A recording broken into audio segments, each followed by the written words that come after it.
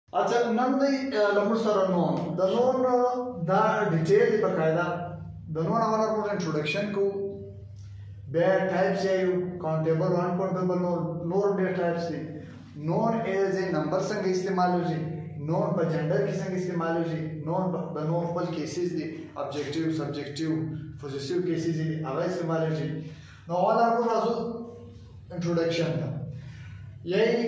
نیم اف ا پرسن انیمل پلیس ثینګ فیلینګ اور ایډیا ٹھیک نون چې دی هغه د یو سړی نوم هم کېدای شي د یو جانور د یو ځای د یو شي د یو احساساتو د یو خیالاتو نوم کېدای شي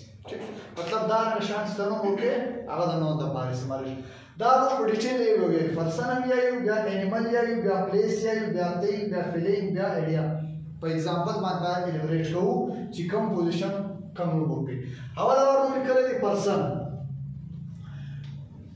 پرسن نیم یو چا ته ستنه نوم ورکړي فار اگزامپل دوی لیکل دي سواتی غفور شیر زمان افضل ټیک شو دا د نامه د پاره کوم استعمال شي اخته مو عمل کړي دوی د یو ټایټل لپاره استعمال کړي د یو چا ته لقب ورکړي فار ایگزامپل دا سټوډنټ دی دا د یو ادارې هډ دی سی او دی دا ټیچر دی ډاکټر دی پروفیسور دی لیکچرار دی دا هم چې دي د نوم په کټګوري کې راځي هغه وخت په جنډر کې موږ استعمالو میل فیمیل شیمیل ټیک شو په جنډر دا نومان دي